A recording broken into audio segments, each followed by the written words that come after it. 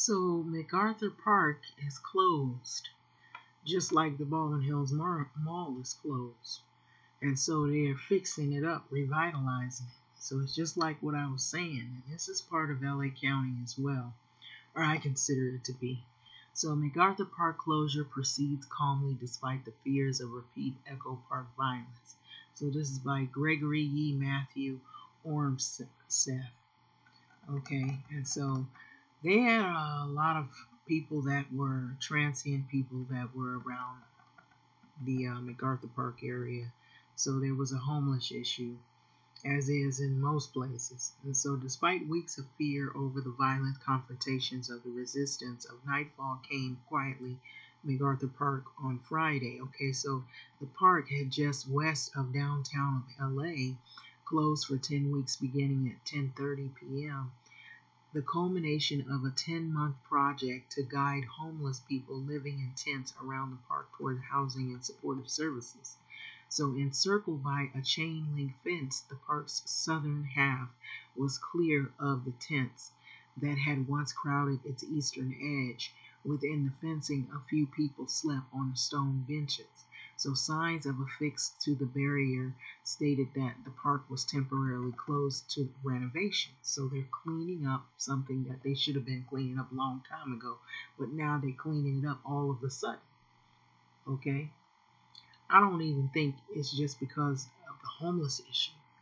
I think this is another place that they want to make it clean because they know that a new group of people are moving in.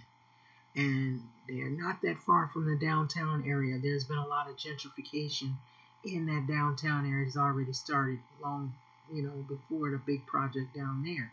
And so more and more people, as they are coming down from the mountains and coming out of the beachfront property and coming out of the suburbs and want to live closer inland, they are moving down in, in these areas that people used to call their home. And they want these properties over here. And so they don't want to see the homeless people all out there. And they don't want to see certain people in these communities just hanging out. And so they're going to change the face of all of this. And so this is another project that they've been working on as well. And so they're just making it look like they just focusing on helping the homeless people. They're not helping those people. They that's a temporary fix. Because if you're just saying, oh, we're gonna get them services and we're gonna you know, it's easy to say. They've been saying that for years. What they're trying to do is trying to clean that park up and they're trying to clean it up because they know a new group or new group of folks are coming in and so it says it was encircled with a chain link fence. The park's southern half was clear of tents that had once crowded the eastern edge. So within the fencing, a few people slept on stone benches. So signs that were affixed to the barrier stated that it, the park was temporarily closed due to renovation. So think about that. So they're doing a heavy cleanup around there now. And so as the night fell, a handful of activists as they say, showed up for a planned demonstration that failed to materialize.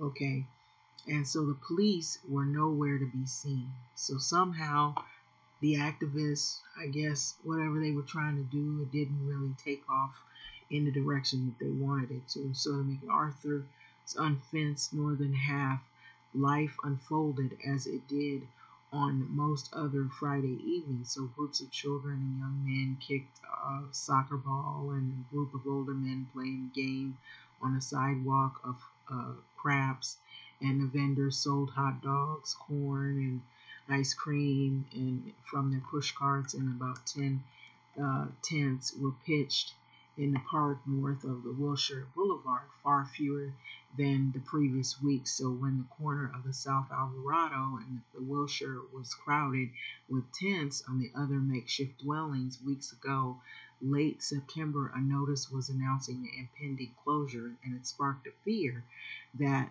the move would result in conflict between authorities and people living in that park.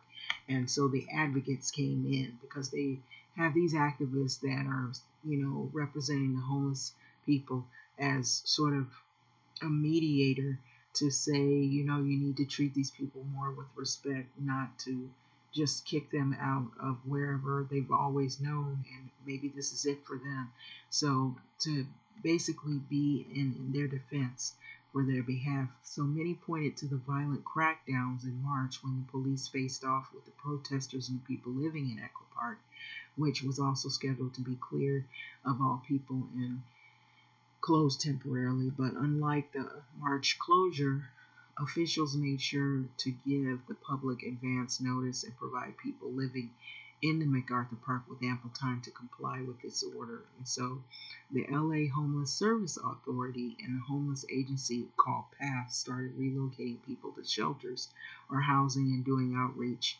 which they should have done a long time ago. Why is it all of a sudden right now? Now, I know a lot of people have been talking about homeless. I'm one of them. But, you know, you can talk about it all you want, nothing will happen. But all of a sudden, something's happening now. And so I really feel like this has that it's all connected. And that's what I'm saying. I feel like it's all connected. They they're they're getting ready for the changes that are, are occurring in these cities because they know the people who was once didn't want to live in these cities are now moving in. So the LA Homeless Services Authority and the Homeless Agency PATH started relocating people. You hear that? The shelters and housing doing outreach in January. So Cedillo told the Times. So the city officials have billed the project as rehabilitation, is what they call it, and said that the closure is limited to a portion of the park south of Wilshire Boulevard. Okay. And so the City Department of Recreation and Parks plans to use the closure to catch up on the maintenance that was put off by the pandemic. So the projects cost $1.5 million to do this and included upgrades, lights, replant. Think about it. Look at the upgrades, what they're going to be. Lawn repair, irrigation, new park benches, lights, and replanted the replanted lawns. So Cedillo told the Times um, that he expects the park to reopen sometime in January of next year, so all the fencing and barricade will be removed by then. So as the twilight sunk into the night, at least one of the MacArthur Park's residents said that he had offered housing, but wasn't ready to leave the independence and freedom of living in his own terms. So some people are out there for other reasons, or maybe they are out there because they want to be out there and they've been used to that environment. So the 56 year old declined to give his name, said that he was known around the park as John the Merciful. So John spoke with the Times, and the park's more than half of the said of, of what was said. He had been living there for about a year after suffering a serious hip injury that has left him unable to get around without the wheelchair. And so, since living in the park, he has come to value the sense of the camaraderie among the encampment residents, he said. So, however, he acknowledged that there are dangers, such as the four young gang members.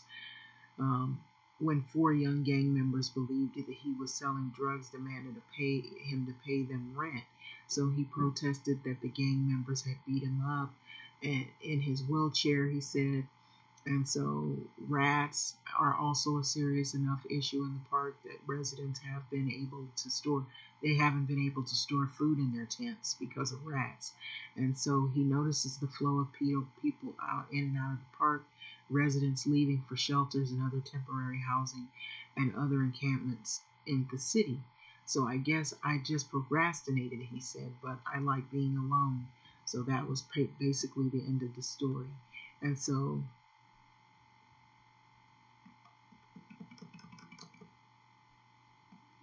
this is what I've noticed is that a lot of cleanup, a lot of projects have been happening, but you notice they just kind of leave it open for you to, to wonder, okay, why why is it this happening? And it's been so many years and not, nothing was done, and all of a sudden something's getting done.